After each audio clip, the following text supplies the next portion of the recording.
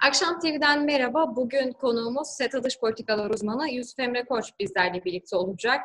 Çin ve Hindistan arasındaki gerilimi, bu gerilimin nedenlerini konuşacağız. Ee, Hint ve Çin askerleri arasında çıkan çatışmada 3 Hintli asker yaşamını kaybetti. Tabii 62 yılında yaşanan e, savaşlarda 2000'e yakındı hayatını kaybeden Hintli askerler. Günümüze gelen süreçte de e, bu çatışmalar devam etti ve yine hayatını kaybeden askerler oldu. Nedir Çin ve Hindistan arasındaki gerilimin sebebi? Evet, Çin ve Hindistan arasındaki ilişkilere baktığımızda e, yaklaşık 70 yıldır e, sınır hı hı. anlaşmazlıklarının devam ettiğini görüyoruz. Hı hı. E, zaman zaman sınır bölgelerinde çatışmaların yaşandığını, sizin de söylediğiniz gibi 62'deki Çin-Hint Savaşı da bunun bir parçasıydı. Hı hı. Ancak 1975 yılındaki o 3 Hint askerinin ölümünden bu yana geçtiğimiz günlerde yaşanan çatışma ilk defa ölümün yaşandığı bir çatışma oldu. Evet. Dolayısıyla tarihsel süreçte gelen çalışmalara da baktığımızda aslında çok da sürpriz değil. E, zaman zaman Çin ve Hindistan arasında bu tip e, problemlerin e, beklenmesi muhtemel. E, tabii ki burada özellikle e, sorunun meselesine baktığımızda Çin ve Hindistan arasında orada oluşturulan fiili kontrol bölgelerinin aslında muğlak kalmış olması, kesin net e, sınırların belirlenememesi, e, bahsettiğimiz bölge yüksek dağlık bir alan, buzullardan oluşuyor Evet. Göllerden ve akarsulardan oluşan bir alan. Dolayısıyla e, sınırların esnek olması, belirlenen hattın esnek olması zaman zaman hem Çin tarafından hem de Hindistan tarafından da e, değişik ihlallerle gerilimin yükselmesi ve geçtiğimiz günlerde yaşandığı gibi e, çatışmalara ve hatta ölümlere de e, neden oluyordu. Tabii son tartışmaya, çatışmaya baktığımızda Mayıs ayından bu yana yükselen bir e, gerginlik vardı. Zaman zaman medyaya da yansıdı. İşte Çinli ve Hintli askerler e, taşlar ve sopalarla e, arbede yaşadı diye. Ancak üç gün evvel ölüm haberleri geldi.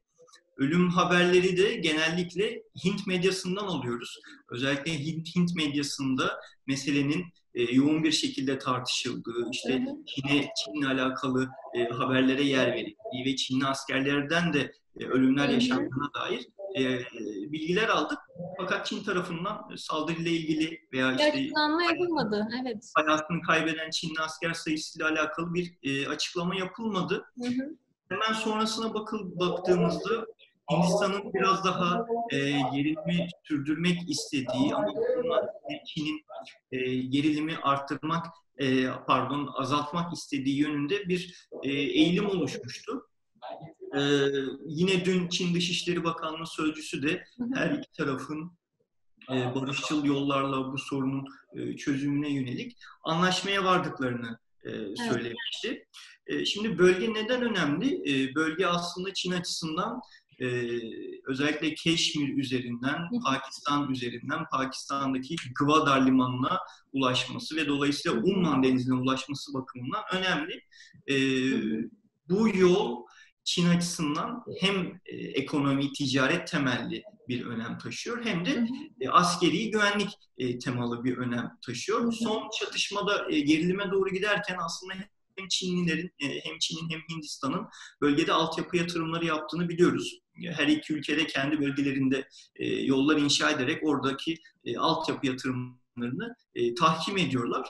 E, bu da bir şekilde e, karşılıklı olarak gerilimin e, tırmanmasına e, neden oluyor.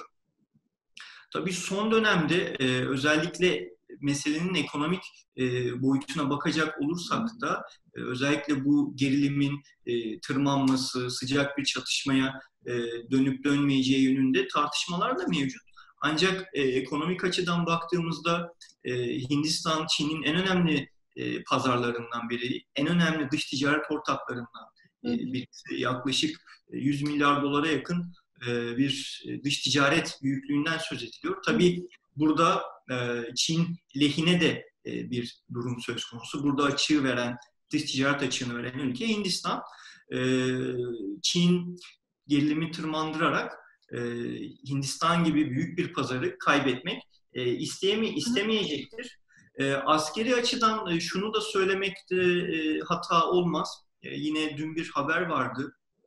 E, çatışmanın yaşandığı bölgeden bin kilometre uzakta Tibet'te e, Çin'in e, bir askeri tatbikat e, gerçekleştiği, Himalayalar bölgesinde bir askeri tatbikat gerçekleştirildiği duyuruldu.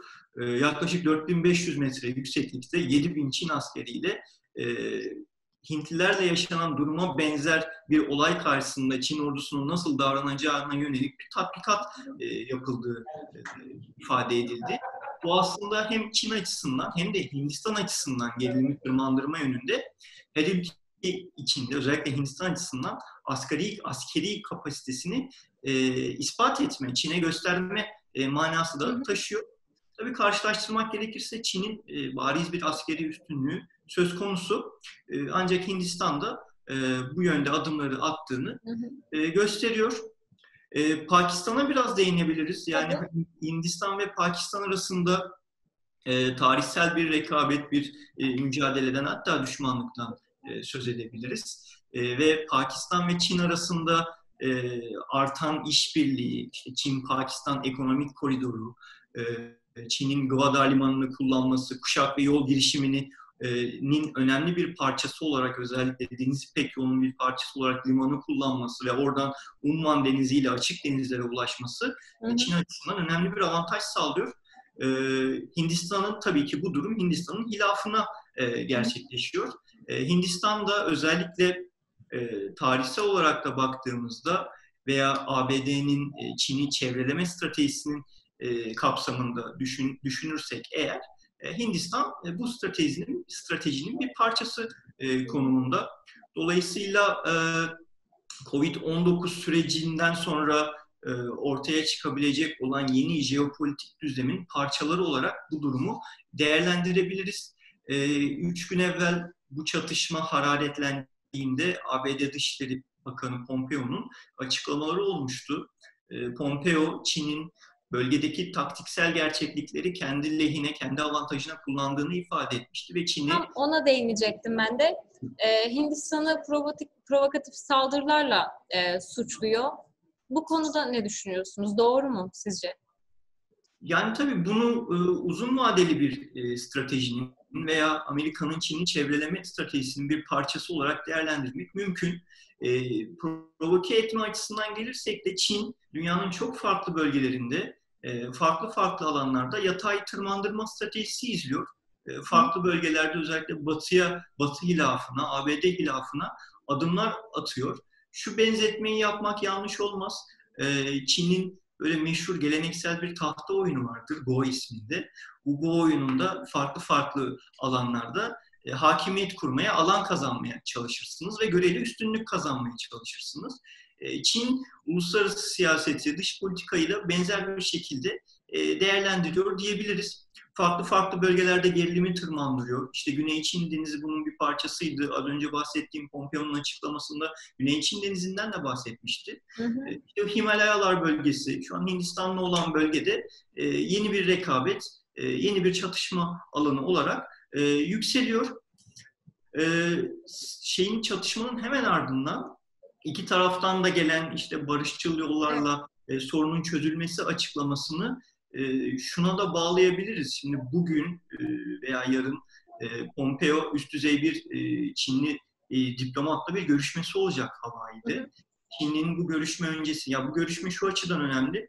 E, özellikle Covid-19 süreciyle bir ABD-Çin ilişkileri 1979'dan beri en düşük seviyesine gerilemiş durumda ve bu evet. sene içinde 2020 yıl içindeki e, en yüksek seviyeli e, görüşme olacak Çin ve ABD arasında. Hı hı. Dolayısıyla bu işte Hindistan'daki gerilimin e, zayıflatılması, düşürülmesi ve ardından Çinlilerin ABD ile masaya oturacak olması açısından e, barışçıl yollarla çözülecek adımların veya ifadelerin kullanılması önemli diyebilirim. Şimdi Çin bar, e, sorunu barışçıl yollarla e, çözmek istediğini, anlaşmaya varmak istediğini açıkladı. Sizce gerçekten barışçıl bir şekilde bir anlaşmaya varılır mı? Yoksa çatışmalar devam eder mi? Şöyle, e, ilk başta da ifade ettiğim üzere bu 70 yıldır devam eden bir hı hı. E, çatışma. Yani bugün bir anda üç günde ortaya çıkan bir çatışma alanı değil. E, yani Çin-Hindistan arasındaki ilişkilerde bunun aslında bir kısır döngüye dönüştüğünü bile ifade edebiliriz. E, yani bunu hem Çin hem Hindistan açısından yönetilebilir. Yani ee, kesin bir sonuca varılabilir mi artık? Yani her iki ülke açısından bir kere sıcak çatışmanın göze alınması çok düşük ihtimal. Yani az önce de söylediğim gibi ekonomik partner olarak yani Çin bir pazar olarak görüyor. Böyle bir pazarı e, kaybetmesi, kaybetmeyi göze alması çok ihtimal dahilinde değil. Hı. Ama bölgenin şartları da gereği, coğrafi şartları gereği de e, net bir e, sonuca ulaşılması bu zamana kadar mümkün olmamış. E, dolayısıyla bu tip durumlarda, e, benzer durumlarda gerilimin artacağı beklenebilir. Tabii ekonomi açısından şunu da eklemek gerekir. E, hatırlayacak olursak COVID-19 süreciyle küresel tedarik zincirinin zarar görmesi nedeniyle bazı firmaların üretim tesislerini Çin'den dünyanın başka bölgelerine veya kendi ülkelerine taşıyacağı ihtimali konuşuyordu, konuşuluyordu. Hindistan'da e, eğer bir taşınma olacaksa önemli aday ülkelerden biri. Yanlış hatırlamıyorsam bin civarında üretim tesisi Çin'den Hindistan'a bu pandemi sürecinde taşındı. Dolayısıyla rekabeti e, bu açıdan da değerlendirmek gerekir. Yani salt bir e, askeri veya güvenlik e, temelli bir rekabet yok ortada. Ekonomi politik temelli, üretim temelli, e, ticaret temelli veya ticaret yollarının güvenliği temelli e, bir rekabetin olduğunu e, söylememiz gerekir. E, bu, açı, bu açıdan e, farklı farklı alanlarda, farklı farklı dönemlerde gerilim artabilir, azalabilir. E, ama önemli olan her ülkenin bunu yönetilebilir seviyede e, tutarak sıcak e, çatışmaya mahal vermemeleridir.